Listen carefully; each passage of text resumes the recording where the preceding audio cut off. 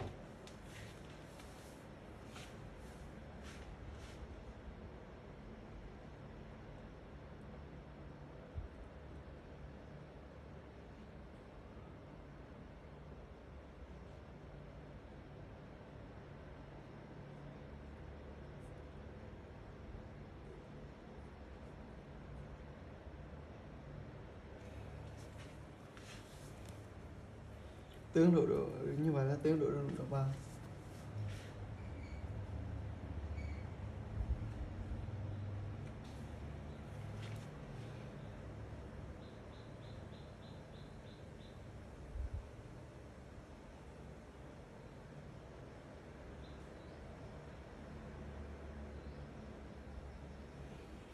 đây và cơ bản là xong nha.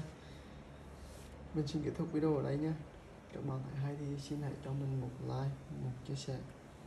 Và một comment những ý tưởng để mình thực hiện một video tiếp theo. Xin chào và hẹn gặp lại.